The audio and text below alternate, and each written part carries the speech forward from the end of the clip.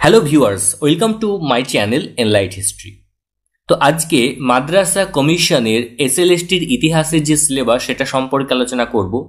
যেহেতু পুরো নোটিফিকেশন এখনও প্রকাশিত হয়নি জাস্ট বলা হয়েছে কবে থেকে ফর্ম ফিল শুরু হবে। তো আশা করি খুব তাড়াতাড়ি এই মাদ্রাসা কমিশনের এসএলএসটি বিষয় সম্পর্কিত পুরো ডিটেল নোটিফিকেশন চলে আসবে এবং তখন হয়তো আলাদা করে একটা সিলেবাস সেখানে দেওয়া থাকবে। কিন্তু ততদিন আমরা অপেক্ষা না করে থেকে পূর্বে মাদ্রাসা কমিশন এসএলএসটির জন্য যে পরীক্ষা নিয়েছিল, তার যে সিলেবাস রয়েছে, আমি কিন্তু আজকে সেই সিলেবাসটা নিয়ে আলোচনা করব। আর তোমাদের বোঝার সুবিধার্থে আমি এটা বাংলাতে করে দিয়েছি। আমাদের এনলাইট হিস্ট্রি অ্যাপ এবং এনলাইট হিস্ট্রি ডট কম ওয়েবসাইটেও কিন্তু এটা আপলোড করা রয়েছে। তোমরা সেখান থেকেও চাইলে ডাউনলোড করতে পারো।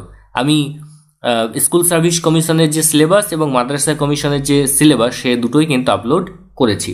তো একটু ডিটেলসে দেখা যাক কোন বিষয়গুলো তোমরা এখন এই মুহূর্তে পড়বে, কোনটা পড়া জরুরি, কোনটা আপাতত বাদ রাখবে, এ সমস্ত কিছু কিন্তু আজকের এই ভিডিওতে আমি আলোচনা করতে চলেছি। চলো তাহলে আর দেরি না করে শুরু করা যাক। দেখো, এটা হচ্ছে ইতিহাসের মাদ্রাসা কমিশনের সিলেবাস। ঠিক আছে, এবং সিলেবাসের শুরু হচ্ছে সিন্ধু সভ্যতার ইতিহাস দিয়ে। কিন্তু তোমরা যখন পড়বে, তখন অবশ্যই ইতিহাসের উপাদান দিয়ে শুরু করবে।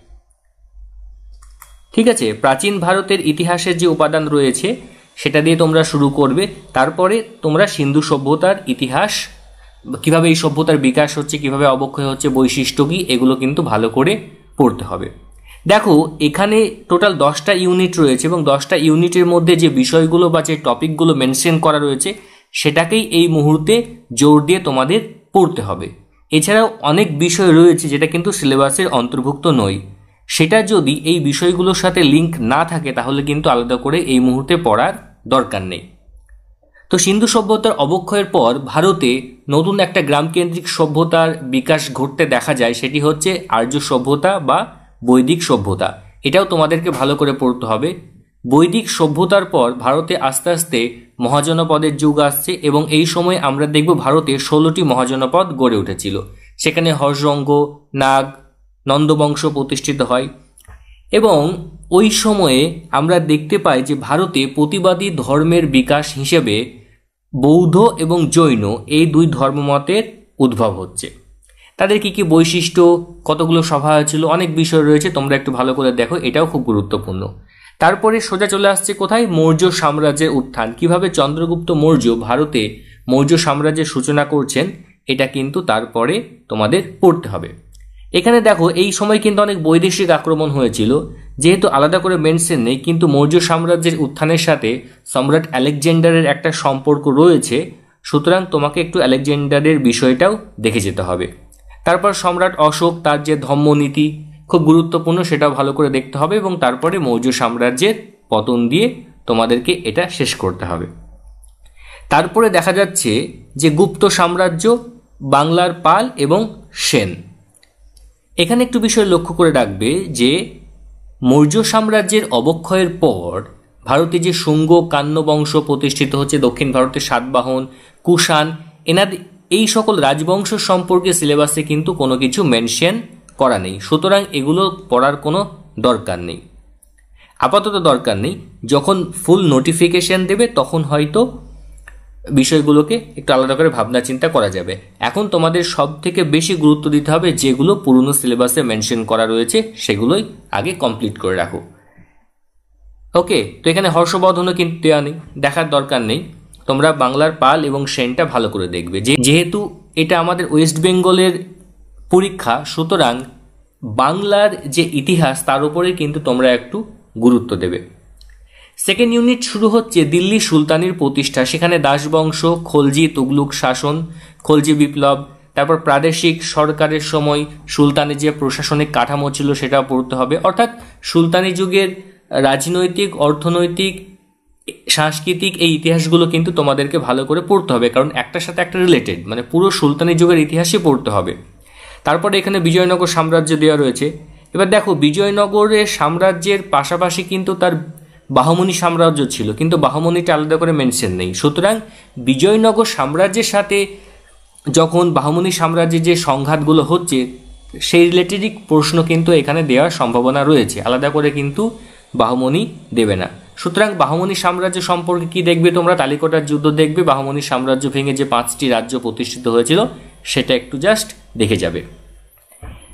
তৃতীয় ইউনিটে দেখা দেখা যাচ্ছে যে সুলতানি সাম্রাজ্যের যে ভাঙন হচ্ছে এবং প্রথম পানিপথের যুদ্ধে বাবর ভারতে মোগল শাসনে শুরু করছে। তারপরে মুঘল আফগান যে প্রতিযোগিতা চলছে, সেটা শের শাহ সুর, তার শাসনকালটা খুব গুরুত্বপূর্ণ। সম্রাট আকবরের তার যে শাসন নীতি, ধর্মীয় নীতি, এগুলো খুব গুরুত্বপূর্ণ, এগুলো ভালো করে পড়তে হবে। আকবরের অধীনে মনসবদারি ব্যবস্থা, তারপর আকবরের ধর্মীয় নীতি, এগুলো দেখতে হবে। চতুর্থ ইউনিটে কি রয়েছে? জাহাঙ্গীর এবং শাহজাহানের শাসনকাল, পুরোটাই দেখতে হবে ভালো করে। অরঙ্গজেবের সম্প্রসারণ নীতি মারাঠাদের সাথে অরঙ্গজেবের সংঘাত, শিবাজি, মারাঠা স্বরাজ্যের চরিত্র, এইগুলো কিন্তু এখানে মেনশন করা রয়েছে মানে মারাঠা সাম্রাজ্যের ইতিহাসটা তোমাদের ভালো করে দেখতে হবে। তারপরে সম্রাট অরঙ্গজেবের মৃত্যুর পর কীভাবে মোগল সাম্রাজ্যের অবক্ষয় হচ্ছে এবং অষ্টাদশ শতকের প্রথম দিকে আঞ্চলিক শক্তির উদ্ভব হচ্ছে। দেখব বাংলা, আউধ বা অযোধ্যা, হায়দ্রাবাদ এই রাজ্যগুলো। এবং বাকি যদি দু একটা থাকে, সেগুলো একটু শিখ, রঞ্জিত সিং, এনার সম্পর্কে একটু তোমরা দেখে যেতে পারো, কিন্তু এর বেশি দেখা ঠিক হবে না। পঞ্চম ইউনিটে রয়েছে সিরাজ দৌলা। মানে যেহেতু এখানে বাংলার ইতিহাস বলেছে, সুতরাং মুর্শিদ কুলি খা আলিবর্দি খা এনাদের সম্পর্ক তো পড়তেই হবে। তারপর সিরাজি দৌলা, ইস্ট ইন্ডিয়া কোম্পানির মধ্যে দ্বন্দ্বের কারণ, মীর কাসিম, এখানে দেখো বাংলার ইতিহাসটা দিয়ে শুরু হচ্ছে। ব্রিটিশ সম্প্রসারণের সংক্ষিপ্ত বিবরণ, ঔপনিবেশিক অর্থনীতি, ভূমি রাজস্ব, বন্দোবস্ত মানে জমিদারি ব্যবস্থা, চিরস্থায়ী রাওতোয়ারি মহলরি বন্দোবস্ত, সম্পদের নিষ্কাশন বা আর্থিক নির্গমন যেটাকে বলা হচ্ছে, শিল্পায়ন, আধুনিক শিল্পের সীমিত উন্নয়ন, এই বিষয়গুলো কিন্তু রয়েছে। ইউনিট সিক্সে রয়েছে ব্রিটিশ শাসনের প্রাথমিক প্রতিরোধ, অর্থাৎ পাইক, চুর, পলিগার বিদ্রোহ, ওয়াহাবি আন্দোলন, ফরাজি আন্দোলন সাঁওতাল বিদ্রোহ আঠেরো সাতান্ন সালের বিদ্রোহ, তারপর পশ্চিমী শিক্ষার প্রসার, পাশ্চাত্য শিক্ষার প্রসার, রামমোহন রায়, ইয়ং বেঙ্গল, বিদ্যাসাগর, ব্রাহ্ম সমাজ, প্রার্থনা সমাজ, আলিগড় আন্দোলন, ভারতে জাতীয়তাবাদের প্রাথমিক স্তর, প্রাক কংগ্রেস অ্যাসোসিয়েশন, কংগ্রেসের প্রাথমিক প্রকৃতির ভিত্তি। দেখো, প্রাচীন বা মধ্যযুগের যে সিলেবাস তার একটা লিমিটেশন থাকলেও আধুনিক ভারতের ইতিহাসের কিন্তু কোনো লিমিট নেই। সুতরাং এটা পড়ব, ওটা পড়ব না, এমন কিন্তু আধুনিক ভারতের ক্ষেত্রে খুব একটা প্রযোজ্য হবে না। সুতরাং তোমাদেরকে আধুনিক ভারতের ইতিহাসটা খুব ভালো করে পড়তে হবে। তো এর জন্য কোন বই পড়বে সেটা পরে একটা ভিডিও করে তোমাদেরকে বলে দেবো। সেখানে আমি এমনি টেক্সট বই, একটা অন্য টাইপের বই এবং এমসিকিউ টাইপের বই তোমাদেরকে বলে দেব। সুতরাং সিলেবাসটা বুঝে তোমাদেরকে একটু ভালো করে দেখতে হবে। নেক্সট ইউনিটে রয়েছে ভারতীয় নীতিতে চরমপন্থার উত্থান, বিভাজন নীতি, স্বদেশী আন্দোলন, তারপর ব্রিটিশ শাসন নীতি, গান্ধীজি এবং ভারতীয় জাতীয়তাবাদী আন্দোলন, অসহযোগ আন্দোলন, আইন অমান্য, ভারত ছাড়া আন্দোলন, মুসলিম লীগ, পাকিস্তানের দাবি, দেশভাগ এবং স্বাধীনতা। তো এতক্ষণ পর্যন্ত যে ইউনিটগুলো আলোচনা করলাম মানে একেবারে প্রথম ইউনিট থেকে সেভেন ইউনিট পর্যন্ত রয়েছে ভারতের ইতিহাস। তো এই ভারতের ইতিহাসটা তোমাদেরকে এখন এই মুহূর্তে সম্পূর্ণভাবে কমপ্লিট করে রাখতে হবে। এখনই কিন্তু তোমরা ইউরোপের ইতিহাস পড়া শুরু করবে না। আগে তোমাদের তোমাদের প্রথম টার্গেট থাকবে ইন্ডিয়ান হিস্ট্রি যেগুলো ওল্ড সিলেবাসে মেনশন করা রয়েছে, সেটা কমপ্লিটভাবে তৈরি করা। ঠিক আছে? দ্বিতীয় কথা হচ্ছে যে, যেহেতু এসএসসি এবং মাদ্রাসা কমিশনের যে ইতিহাসের সিলেবাস সেটা এই ইন্ডিয়ান হিস্ট্রির ক্ষেত্রে কিন্তু এক। আলাদা একটু দেখা যাবে না, পুরোটাই কিন্তু সেম তো ইউরোপের ইতিহাসের ক্ষেত্রে একটু কম বেশি রয়েছে, মাদ্রাসা কমিশনের একটু বেশি রয়েছে আর এসএসসির যে ইতিহাসের সিলেবাস সেখানে একটু কম রয়েছে। এই আর কি ডিফারেন্স তাছাড়া বেসিক কোনো ডিফারেন্স নেই। মোট কথা হচ্ছে যে ইন্ডিয়ান হিস্ট্রিটা তোমাদেরকে ভালো করে কমপ্লিট করে রাখতে হবে, যাতে এখান থেকে যে কোনো প্রশ্ন দিলে তুমি তার উত্তর দিয়ে আসতে পারো। এবং সিলেবাসটা বুঝে কিন্তু ভালো করে পড়তে হবে। এমন দেখা গেল যে সিলেবাসের মধ্যে নেই, এমন বিষয়ে পড়ে নিলে ভালো করে।